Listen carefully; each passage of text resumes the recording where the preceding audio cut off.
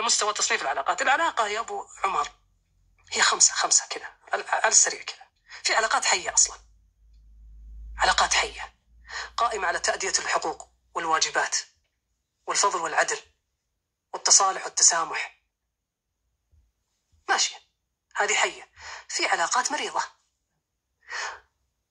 ودي إن أذنت لي ولا أحد يسمع أن أنه يبدأ يصنف الآن الآن يصنف. في علاقات حية بينك وبينها. حياة في علاقات مريضة تلك العلاقات القائمة على رفع العتب واللوم فقط. أجي عشان ما يزعل. أحضر عشان ما يقول شيء. أرد عليه عشان ما يصجنا آه هذه علاقة مريضة تحتاج ترى إلى فيتامينات. بإعادة تصحيح. إن كنت تريد استمرارها. وش الفيتامينات؟ موضوع آخر إن شاء الله. رقم ثلاثة. هذه العلاقات المريضة ثمة علاقات ممرضة. ممرضة. هي تلك العلاقات التي يطالبك فيها الطرف الآخر بأعلى من واجباتك دون أن يعطيك الحقوق.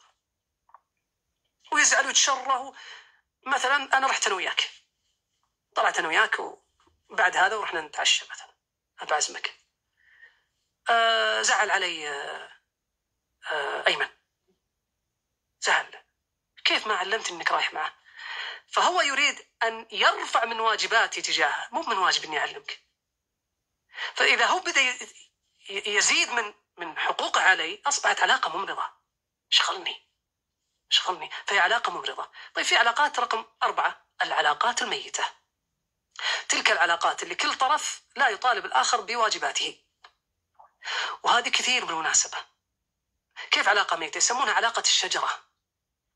شلون الشجرة؟ في مصطلح في الطب الناس الله يشفيهم يا رب العالمين يعظم أجرهم اللي اللي غيبوبة كاملة وكذا بس ياكل. لا ينمو لا يتفاعل ولا شيء ياكل في علاقات شجرة بهذه الطريقة. بس هم يعيشون بسلام لكن بدون حب. ما بينهم مشاكل ترى. هي في ضيفتها وهو في ضيفته وماشي الأمور وعيالهم اللي مبتعثوا اللي كذا وماشي الأمور. هي تبي شيء عندها سيارتها ولا السواق وأنا عندي الخادمة ولا أطلب ولا عايشين دون أي صدام. ولا يبغى يصلح أصلا مشاكل. الإنسان اللي يستاجر بيت وناوي يطلع منه ما يزين لمبته ما يزين سجادة أصلا أنا ما بيه فما في أي تأدية للحقوق ولا الواجبات ولا بينهم ولا بينهم صراع. هذه من الحياة. الله قال لتسكنوا على مستوى تصميم